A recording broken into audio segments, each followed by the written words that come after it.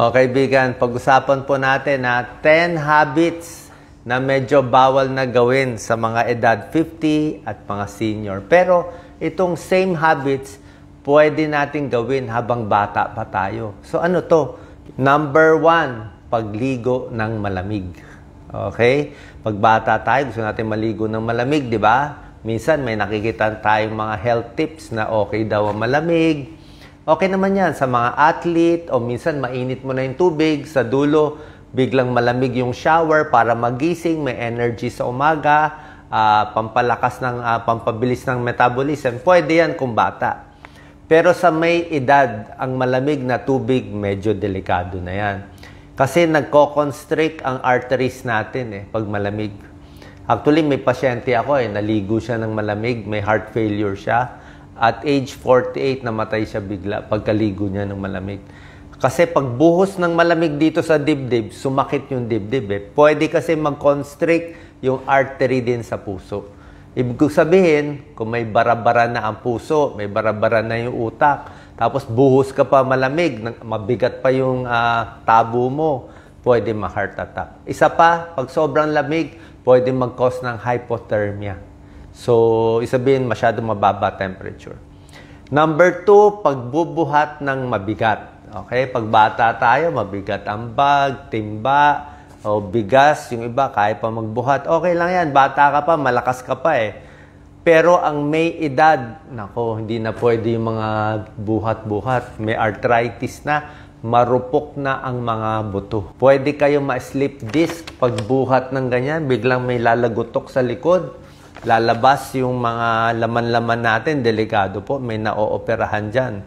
So, isa pa, basta anything strenuous, sobrang iri, bawal din pala sobrang iri. Pag bata ka, okay, pero sobrang iri, nakaka-heart attack. Yung high intensity workout, di ba, uso rin yan eh, yung imbis na maglakad ka ng isang oras na dahan-dahan, gagawin nila 5 minutes, 10 minutes, sobrang exercise, sobrang takbo, sobrang workout okay yan kung bata ka pa. Gusto mo pataasin yung heart rate mo. Pero pag senior na, hindi ko na pinapayo. Baka ma-heart attack tayo sa high intensity workout nyo. Number three, okay to pag bata, pero hindi na okay pag matanda. Pag akyat ng hagdan. Climbing stairs, di ba? Nababasa natin. Dapat umakyat ng hagdan para sa good health. Tama naman. Pag bata tayo, akyat baba ng hagdan. Pero pag may edad na, may arthritis, masakit ang tuhod, akyat baba ng hagdan, hindi maganda sa tuhod. Mapapansin nyo yan. Kung meron kayong knee problem, hirap siya. Akyat, baba, squatting, talungko, hindi na rin kaya pag may knee problem. Isa pa, bukod sa arthritis, mas mahina na puso, mas mahina na baga, ang bilis na hingalin. Yan mga akyat, hagdan, medyo hindi na kaya pag may edad. Lakad na lang, palakasin na lang yung muscle. So, number four, pagkain ng hilaw na kilawin, sushi, uh, medium rare steak, uh, itlog na undercooked, malasado. Pag bata ka pa, okay lang. Uh, kasi baka matsambahan ka ng food poisoning eh. May mga tapeworm, may mga bulate, may mga bakterya, minsan yung itlog, uh, hilaw na karne, hilaw na isda. Pag bata ka na food poisoning, okay lang, nagtae, uh, mamaya malakas na. Pero pag may edad, Senior nagtae, baka maubusan ng tubig, delikado. Senior nagkaroon ng bacteria, food poisoning, baka mag-sepsis, kumalat sa dugo ang bacteria, mag-septic shock, bagsak ang blood pressure, may namamatay. Number five, pagkain ng matitigas, yung mga malalaking karne o malalaking solid na prutas. Pag bata tayo, okay lang kumain ng butong pakwan, di ba? Mga banana chips. Pero pag matanda na, marupok na yung ipin eh, di ba? Hinay-hinay na, malambot na lang. At yung mga malalaking prutas, like yung melon, may nagchuchoke sa melon ha. Maraming beses na nangyari. So, bakit nabubulunan ang senior? Number one, konti na lang ang laway ng senior. Mahina na production ng saliva. Inom ng maraming tubig para maraming laway. Isa pa, mahina na paglunok ang muscle dito. Minsan yung mga ibang senior, may maliliit na stroke. May maliliit na stroke, humihina na yung kamay, paa, pati dito, paglunok, delikado. Number six, itong mga diet-diet na weird diets, hindi na pwede pang senior. Yung mga crash diet, yung biglang di kakain, hindi na pwede. Yung mga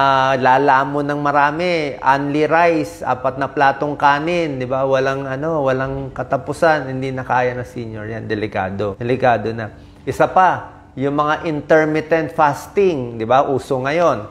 Meron 16 hours. Kung bata ka pa, siguro 20 up to 50 years old, gusto mo mag-intermittent fasting, uh, nasa sa iyo. Pero pag senior na, 16 hours hindi kakain, hindi ko na marirecommend. Eh. Bakit? Ang senior may heart disease na yan. Baka hindi kaya ng puso. May kidney problem na yan may diabetes issue na yan. Baka bumagsak ang blood sugar o tumaas yung blood sugar. Isa pa yung mga high protein diet, di ba? Yung iba, puro na lang karne, walang kanin, pampapayat. Pwede yan kung bata ka. Kaya lang ang high protein diet, very stressful sa kidneys natin. Ayaw ng ayaw ng mga nephrologists yan. Yung mga may kidney problem, yung protein nila, low protein sila eh. Pag high protein, nahihirapan ang kidneys. Ang gusto natin sa senior, mabagal ang kain, malambot, dahan-dahan, medyo pare-pareho.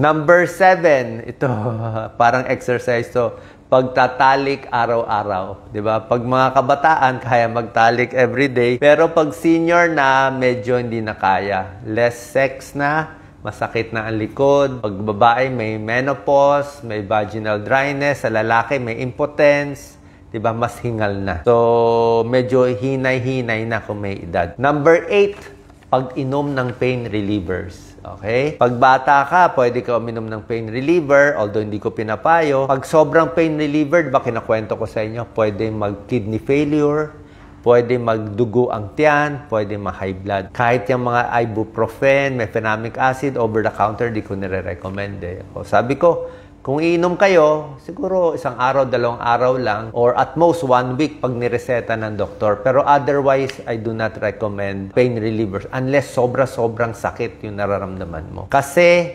sinasabi lagi ng nephrologist, baka matsambahan ka sa pain reliever, mag-kidney failure, mag-dialysis. Number nine, sobrang pagpupuyat. Okay? Pag bata pa tayo, okay mag-night shift, okay magpuyat, di ba? Hindi ko na nga nilagay alak, sigarilyo, kaya nila lahat yan. Bata pa, malakas pa eh. Pero pag matanda na, mahirap na yung night shift, yung pagpupuyat. Bakit? Pagpuyat ka, more high blood. More mataas yung heart rate. Pati blood sugar magloloko. Mas hilo ka. Mas matutumba-tumba ka.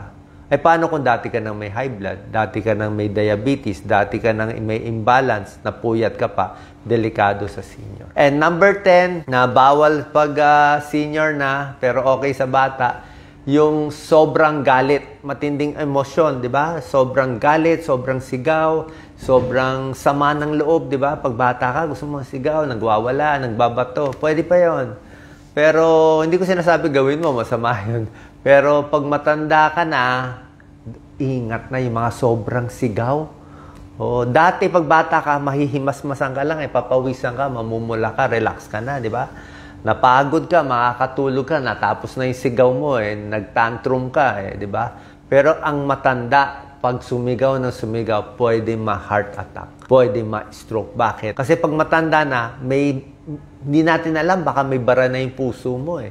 Baka may bara na tong carotid artery, hindi natin alam. Baka meron ng mga bara sa mga coron ah, sa mga artery sa utak. So pag meron ng dating bara yan, naggalit ka, tumaas ang blood pressure mo, pwedeng magdugo sa ulo, pwede magdugo sa mata, conjunctival hemorrhage, pwede ma-heart attack, kaya ingat po. So, iba na usapan pag senior. So, sabi ko nga sa mga senior na followers ko, maraming salamat po uh, pag matanda na tayo, dapat ano na tayo eh, uh, less depressed na tayo. Pinagdaanan na natin lahat eh. Okay? Sana nakatulong tong tips. Ingat po sa atin lahat. God bless.